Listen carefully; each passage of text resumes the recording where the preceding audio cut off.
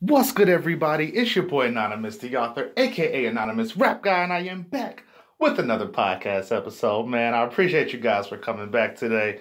Uh, we got dopeness uh, schedule for the podcast, man. Uh, we got a quote from uh, the kid Joe Rogan uh, about uh, energy and momentum, uh, some focus, something that I definitely agree with. And we just got some dopeness in store. I got some some talking points and some themes about reclaiming your focus, about enhancing your discipline, and really just being a dope individual. Really trying to pursue that self help, that positive energy, those positive vibes that we've been putting out into the universe, man. Uh, yeah, I'm actually recording this on Thursday, so it's going to be coming out on the same day I'm recording. So it'll be some pretty up to date stuff that I touch on. But uh, yeah, let's just jump right into it. Get to this Joe Rogan quote. Get to this dopeness. Get to this podcast. And uh, I hope y'all are having a good day. Lego.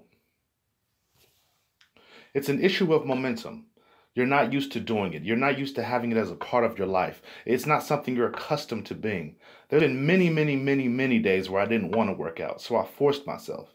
I think there are a few people out there that are willing to force themselves. I mean, that's a learned skill. That kind of discipline and focus. You have to have real rigid requirements of yourself where you don't allow yourself to back out of things or allow yourself to slack off. You have to make it a daily principle of life. Yeah. yeah, uh, that's just the energy that Joe Rogan came with in that quote, man, and I really like it. It's a quote from his podcast. Uh, they've really been doing a lot of stuff with uh, Joe Rogan's podcast since he did the whole Spotify deal. Um, you know, a lot of people, uh, some people aren't happy with it. They say they're, you know, stifling free speech, but I enjoy it, man. Um, $100 million for, for the deal. Uh, me being a podcaster myself, I'm like, hey, by all means, brother, get your money. So, and so when I sit at the table, I can say, hey, he made a hundred. I need to need two or three for myself. You feel me? I don't need the whole pie. Let me just get a slice. But, uh, yeah, man, that's dope. Um, I've been a fan of Joe Rogan's podcast. Y'all know I'm a fan of conspiracy theories. The kookier, the crazier, the better, man. I not y'all know me. I'm not highly offended, and I'm always looking to uh, looking at somebody else's point of view and see what they talking about. And uh, that's why I love Joe Rogan stuff. I don't always agree with the guests um, that he has. I don't always agree with him being the host and like some of his point of views, but it's definitely interesting to watch. It's definitely uh, some colorful characters, and you, like I say, you walk away learning a lot more. Um, you walk away learning a lot, and especially from opposite sides. Like Alex Jones to me, I don't know like how much um like his followers, I don't know if like cuz with any conspiracy theory, it's like it's not just based around one person, it's the idea or concept. So I don't know how much conspiracy theory people like only go to Alex Jones and like he's the main one or if he's just a list in like you know the whole rolodex of of people that uh that they look towards but i definitely like alex jones man him and uh, eddie bravo like some of their theories when they come on that show it's like oh i never even thought about it like that so uh definitely interesting to hear them talk and actually, I need to go up, the, uh, go up and actually watch. It looks like uh, Joe Rogan released one with Dave Chappelle and Donnell Rawlings. I just hope Donnell didn't dominate the interview like he tends to do, like he did, like he did with the RZA interview, like just completely talk, over talking and oversharing. Like, all right, bro, we got you, we got you. You like to talk. You're a celebrity. We we, we get it. But uh, yeah, man. Uh, back just back to the quote. I kind of got a tangent there about Joe Rogan. Uh, just just to get back to the uh, topic at hand, discipline and focus. Uh, two core building blocks in just general success. Like it's it's one of those things where you hear people talk about it like uh you just you just hear people talk about it. Like you hear the straw that broke the camel's back or you know you're trying to get water out of stone. It's like man you like the straw that broke the camel's back is just the the essence of it's just a lot going on and then you put one more thing on and then it breaks it. But that also it, it's a similar saying in that uh you know as long as you keep as long as you keep working towards it and as long as you keep putting that effort towards it, you know, sometimes that last little thing you do just sets it all off and everything starts coming together and everything starts uh, lining up in a place. And that's just the metaphor of the straw, you know, straw that brought the camel's back, just in a sense of like, um, you know, you just got to keep at it. You just got to keep doing it day in and day out. Uh, that I've noticed that that's one of the hardest things about me is uh, I've always had a problem with uh, keeping deadlines. Like in my personal life, when I was in school, uh, you know, college was just uh, that's always been one of the hardest things for me. It's like, okay, this is due in a week. Okay, this is due at midnight on Sunday. It's like I, I know these deadlines, but I've always had difficulty trying to meet them. I've always had the issue of like, you know, you write it in your planner or you put it in your phone. It's like in just like clockwork. It always manages to break down. Doesn't matter what's going on. Doesn't matter what's happening. It just always finds a way to mess up. So uh, I'm just really trying to just just really trying to stay on topic, really trying to stay on focus. That's really what's got me doing this podcast today is because I didn't want to wait until Friday to release it like I did last week. I want to keep to the constant releasing on Thursday so you guys can know when, you know, it's it's always best to have something that you can look forward to weekly. Like it's always good to have that, oh man, it's Thursday. I know this this is coming out. I got something to look forward to. I'm going to work. Like when you have that day in, day out kind of hustle and struggle that we all go through, it's like every day it's the same old, same old, that you get used to originality uh, not even originality, but you get used to certain things being carved out and set. And when you have some little, little reward, like some entertainment, like a podcast, I mean, you expect it to be on time. you want it to be on the day that it's set to come. So um, I said all that just to say I'm I'm still a work in progress, guys. I'm still doing my best to try to get the, the, the content out there, to try to get it in a timely manner to y'all. But I'm I'm uh I'm struggling, man. it's it's just it's just being a small label, so uh, doing everything that I possibly can to to make sure that y'all aren't waiting too long. But just just try to be patient with your boy. Um, so I, I really hope you guys are, are uh, doing something similar. I hope you guys are also getting your discipline and focus um, outside of, of just your uh, nine to five. I hope you guys have discipline and focus in your extracurriculars. I hope you guys have something that you can look forward to outside of work that's uh, hopefully somewhat of a release uh, release valve for you. You know, you can you know release the pressure you can release the steam you can release the built up days energy on whatever your extracurricular is you know whether it's working out whether it's writing whether it's um, you know having friends and entertainment around you whether it's watching movies you know just make sure that you get a little bit of a, of a steam release so that you can when you go back to your your discipline or you go back to your job or you go back to uh, whatever it is that you do on a day in and day out to make ends meet you can have that energy that robust feeling to be like all right i can power through this. I know that i got some, you know my reward my extracurricular waiting for me you know on the outside. So work hard play hard. I'm gonna just go in here put my head down and just and just get it through. So I heard meditation helps a lot with that, with just being able to sit down and focus for long periods of time. I've been trying to meditate my daggone self, but it's just something about it, man. I just, I've always been like anything that I have to do is just something I don't want to do. I've noticed that about myself is I'm completely um, fighting the, uh, just fighting the, the, the flow. Like it's anything that I have to do, I'm just like, nope, don't want to do it. It's like you have to breathe. It's like, do I though? do, I really have to breathe? I think of a hobo breath and pass out when you're breathing when you pass out. Ah, I don't know about that. I'm gonna need the footage. but uh, yeah, man, just just really trying to get to it. Just really trying to make sure you guys um, can grow to expect something more of me than just the the, the crazy randomness because that works for. Um, you know, only so long. That stuff is only cute with the podcast missing uh, for so long before uh, I know you guys start getting pissed, and I don't want to piss off y'all. Y'all, y'all are the reason why I'm still doing this. Y'all are the reason why I have half my sanity. So I appreciate everything y'all are doing out there for your boy. but um, back, um, just to jump back on theme here. Um, yeah, it's it's it's what the the the discipline and focus that I'm talking about, and the rigid requirements that you need of yourself that Joe Rogan is talking about it's just one of those things where it's not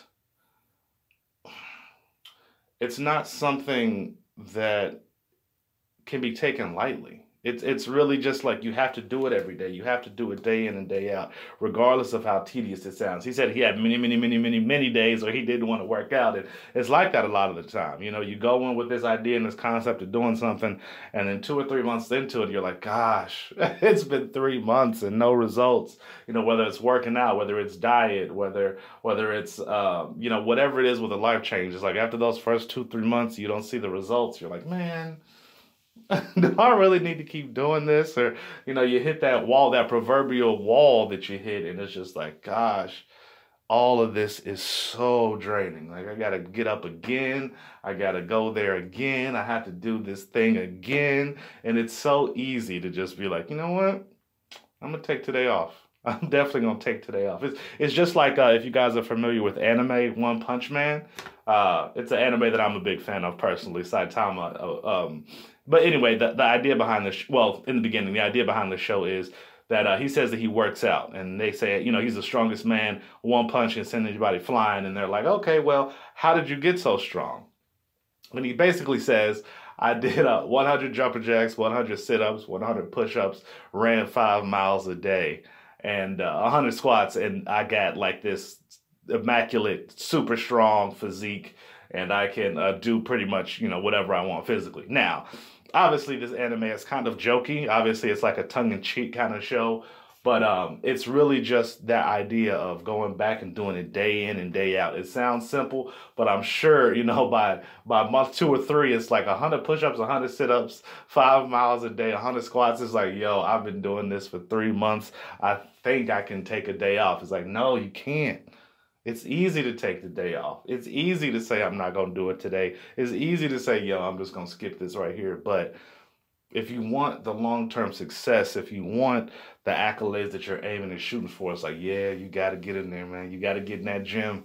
You got to hit that practice shot again and again. You gotta you gotta get the motion down over and over. You have to train your body so much and your mind so much that it's almost second nature. Like you go into work sometimes and you just you're not even tuned in, but you go in and you you you knock the job out. You get it done and you just look up. oh man, it's noon already. I didn't I didn't knocked out three or four things. One damn near damn near wasn't even paying attention, but we got it in and we got it finished and now it's on to the next thing. That's what it's all about. Is just growth, individual success, not individual success, but individual focus. There's so much out there to get you distracted. There's so much entertainment. There's so much this. There's so much that. But at the end of the day, you got to look at yourself in the mirror and say, I'm responsible for me. It's like, am I my brother's keeper? Yeah, you're your brother's keeper, but you also keep you also got to keep yourself, fam. Like you gotta you gotta have some level of upkeep of yourself and uh, some level of discipline and focus for yourself, so that you can focus on other things out there, so that you can expand um, your thinking and expand your view and expand your influence. Uh, you guys know, as I say, as I say all the time, I listen to a lot of uh, a lot of different people that talk. I listen to a lot of um, influencers. I listen to a lot of speakers and um, people who like to debate. You know, they call them modern day philosophers, but whatever you want to call them, you know, chit chatters, uh, talk show hosts, you know, whatever you want to call them. Uh, uh, but I do I do listen to um, Jordan Peterson, and uh, he has this idea of cleaning your room um, before you go out into the world and you know try to tackle these other uh, you know uh, afflictions of the world. I guess would be the way to say it. Is just say, just the idea of you have to make sure your own house is in order that you can tend to the the things that are immediately around you before you start dealing with the rest of the world. Just because just just because if you have everything in order in your home, it's a lot easier to organize the outside world. Which is a good uh, idea in theory. Jordan Peterson is a very controversial figure, a Canadian dude. A um, little bit of a shocker there. Canadians are usually thought to be super peaceful, don't you know? Um, but I don't even know if that was Canadian. I think that was more Minnesota.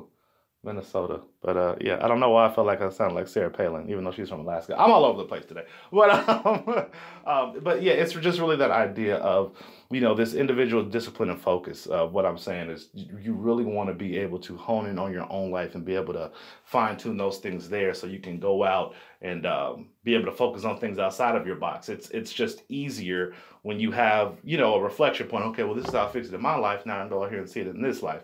Doesn't always translate well. Um, a lot of the things that we're seeing on a day to day is just because people are so stuck in their bubble, so so stuck in their own personal little world that they don't actually expand out and uh, see other people's points of view. But I think that that's that's really big is just getting your own stuff in order get it get, get understanding how your personal world works before you try to figure out what's going on in the outside world because it's confusing enough out there with uh with everything that's going on, stuff that I still don't understand. Uh, levels of thinking that I just have not been privy or access to. Uh, third eye open, y'all know that, but it's just some stuff I'm like, I don't even know what they're talking about right now. Um, now, I'm not like I say, never claim to be the smartest, uh, never claim to be the brightest bulb in, uh, you know. See, I can't even think of a good analogy right there. I don't claim to be the smartest bulb in the pocket. that wasn't even a good analogy, but uh, yeah, don't don't uh, I don't prepare to be, don't pretend to be the sharpest tool in the shed. You know that that's what I'll say. That's how I'll put that. But uh, definitely always into uh, seeing other people's points of view and just coming with my own uh, personal thoughts and energies. But uh, back to Jordan Peterson, uh, he had an idea, um, it, which I think does uh, help in this whole idea of momentum. This whole idea of discipline and focus and improving your life is just that Jordan Peterson was talking about Carl Jung. Uh, Carl Jung, I believe, is a famous uh, writer, slash philosopher, uh, person, a free thinker. We'll just say like that. I do like the name, the word uh, free thinker. Uh, but it's the idea that you have to reclaim um, the your the childhood that you lost uh, through motivation and pushing yourself. You have to find the inner you in order to realize the the the now you. You have to know where you come from, what your earliest um, wants, needs, and aspirations were to truly flush out who you are now, which I think is really dope. That's a really dope idea is to like to, to really be who you are today. You have to reclaim who you were in the past. And I that's that's really what I'm gonna challenge all you guys out there listening is like who were you when you were a little youngster? Who and I don't mean like obviously we all wanted the the biddies, we all wanted the milks. Uh, but on a more grander scheme, who were you back then? When you were being when you had every need met and you only had your base wants and, and, needs. You didn't have to worry about bills. You didn't have to worry about, you know, having food on the table. It was just a simpler version of you. Didn't know about the, the the tragedies of the world. You didn't know you didn't have time to have your dreams broken just yet. You were still just a little babies. Uh, who were you back then? What what were your passions and wants?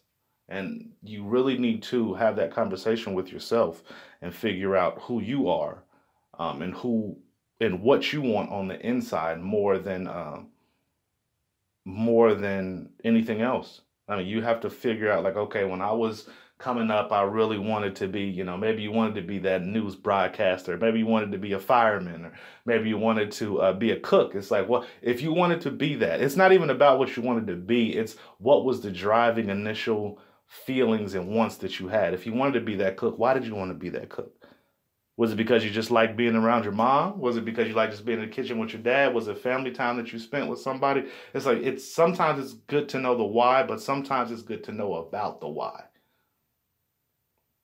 Sometimes it's good to know you got to dig deeper than just some of those basic instincts, some of those quick answers. It's like yes or no, but yes or no, why?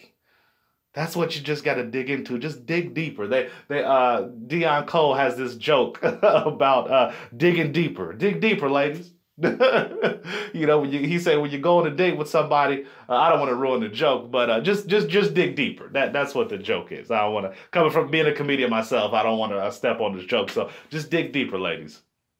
Just dig deeper, everybody. The joke is dig deeper, ladies, but everybody needs to dig a little deeper. Who who are you?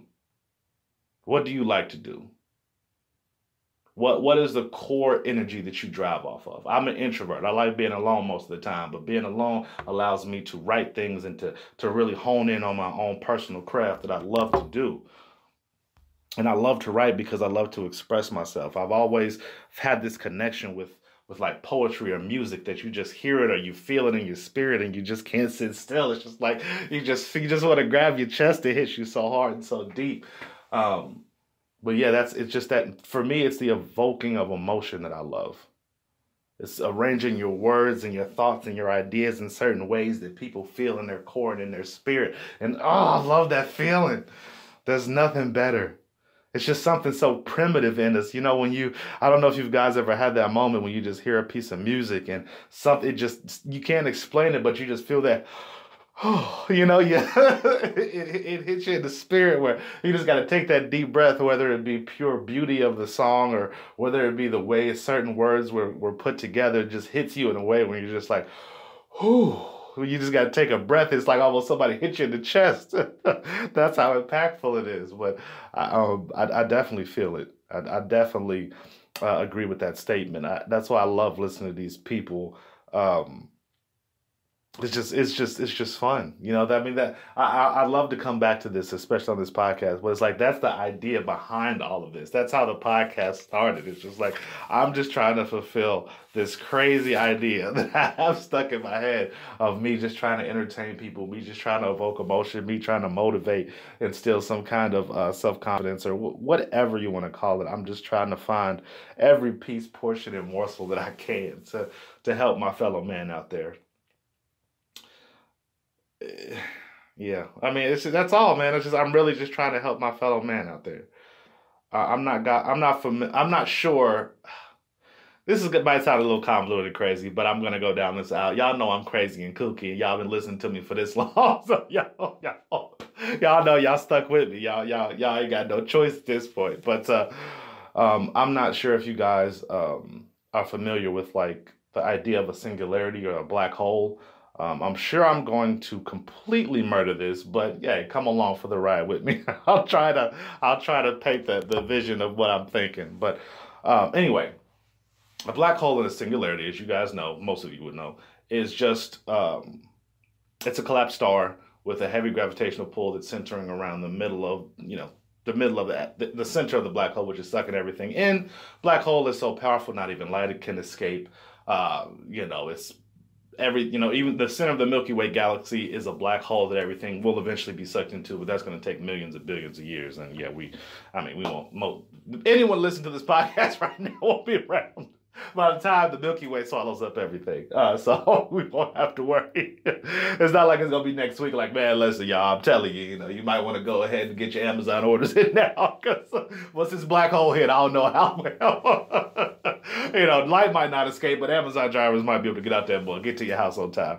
Uh, but anyway, the idea of the singularity is that um, it's so powerful not even light can escape. So if you were to happen to believe into parallel universes, um, every universe would lead, if you were to fall into a black hole, every universe and timeline would lead to you falling into this black hole. However crazy or ridiculous that sounds, um, all futures would lead into that singular thing that's going to happen.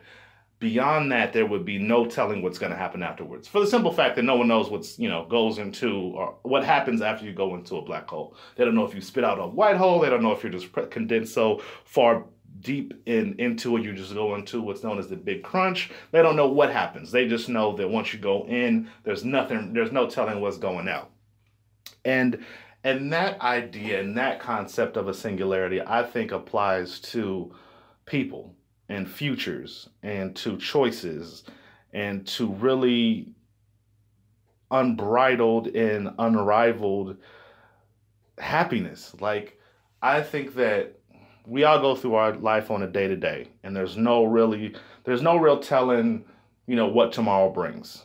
But every day you're faced with a, a choice or an opportunity that you might not even be aware that's out there for you. That, you know, whether that be Dave Chappelle getting on stage and doing comedy, whether that be 50 Cent picking up the microphone, whether that be, um, you know, Michael Jordan picking up a basketball, LeBron James picking up a basketball. It's just like at some point in your life, there comes this thing that you might not have even thought was a big, huge thing, but it's a certain point where it's like, okay, going down this path will change my life so drastically. I can't even comprehend in a million years, you know, what it would lead to. But it is an option and a choice for me that once I go down it, my life will be forever changed in ways that I can never even begin to conceptualize or idealize. And I think that that's really the motivation that you can have, the focus that you can have to keep pushing through is like, hey, if I stay down this path, if I keep pushing myself, if I keep improving, if I keep trying to be more, my life can be so drastically different than it is today. I might not be happy today, but I know if I, you know, if I clock in and do this nine to five and I save my funds up and I can invest in my own personal business, or if I can save this money and start my own cooking culinary uh, classes or start my own uh, restaurant or deliver by night food store, it's like, yo, do that. do that. Chase those dreams and ambitions. Chase those passions. Chase those energies that you have on the inside because eh, this a lot of things aren't promised. And as long as you can get out there and flush out those passions and flush out those energies, you never know what it's going to lead to. You never know what the future uh, has down as long as you stick to it and you stick to your drive and you stick to your focus. Like you can't even you can't even fathom what your life is going to be like in five years if you just stick to this one simple thing. But it's just day in and day out, every day, you know, 24 7, 365 of just you grinding and hustling and just chipping away at that Mount Rushmore. You know, water corrodes, but water doesn't corrode in a day. You know what I mean? Rome wasn't built in a day. It takes continual effort, continual passion. Sometimes these things just start rolling out the longer I do the podcast. Like I, I couldn't pull one of these out of my ass for a million dollars early on, but now the, the metaphors are just rolling. But Rome wasn't built in a day. Um, and you really just got to get up there. You've really just got to chip away at it. You really just got to put the passion, and the effort into it because it's not going to be easy on you know month four month five day 60 day 70 it's like oh god why am i still doing this it's like you're doing this because you need it as much as they want it you need it as much as they need it. Your skills in this world are needed, but if you don't flush them out, then how can you expect people to want your ability? If you've been doing the same thing for six or seven years and you feel like that you're not making any advancements, you're not making any forthcoming, you're not making any progress in it, then maybe you need to change your perspective. Maybe you need to realize what you aren't doing inside of, of, of the efforts that you're putting through. Maybe you're not doing the marketing. Maybe you not maybe you don't believe in, in paying for the advertising. Maybe you're not putting effort out and contacting everybody you need to contact. I mean, getting the product there is just one step whether that be music, whether that be food, whether that be, um, you know, whether you work in uh, e-commerce. It's like having the product is only one thing. You still need to do the mark. You still need to make sure people know about it. You still got to put the funds and effort out there to get the word out. And that's going to take some time. These brand names, Nike and uh, and Adidas and Under Armour, these are household names, not just because they've got this million dollar corporations because they pay for the marketing. They pay for making sure these athletes are wearing their shoes or making sure these athletes are wearing their wearables or whatever the, the, the new it thing is. It's like you got to pay for that. You can't just. I used to hate musicians that used to put out music and be like, man, nobody likes my stuff. It's like, how much? Where's your what's your marketing budget? How much did you spend for recording it versus how much are you paying to market it to people? Like you can't just. I, I I used to really hate. I still kind of dislike people who release music and they're like, "Yo, man, I'm the hottest thing out there," and they're like, "Oh, damn, that's dope." So, uh, what are you doing? So people hear it's like, "Yeah, I'm just doing shows." It's like, "Okay, that's cool. What else are you doing?" And they're like, "Man, I'm just scattering on social media." It's like, really? that's that's not enough. Do you know how many musicians there are? On a on a one block in Cincinnati, you can pull out at least seven rappers. Like seriously, like if you go block by block, you can get like at least seven rappers per block in Cincinnati, randomly.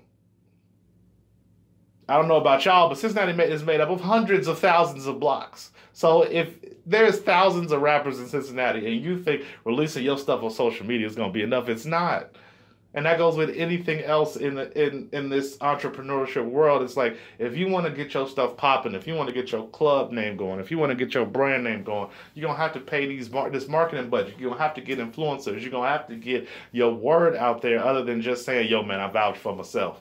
it's like, come on, man.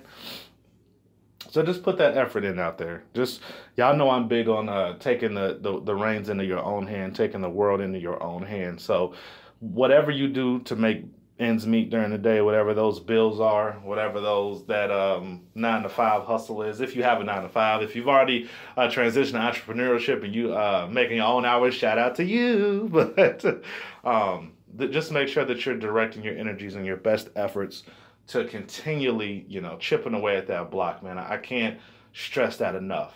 Um, I just want y'all to know, you know, if you're out there listening to this, that I, I, I care about y'all, man. I care about where y'all going in life. So please, uh, just leave a comment on across one of my social medias. Just tag me, um, and just let me know, or hashtag anonymous author. Just let me know uh, what y'all got going on in y'all personal lives. How you're authorizing, how you writing your own destiny, how you taking life in your own hands, how you penning your own future. I mean, that's what we all about over here, man.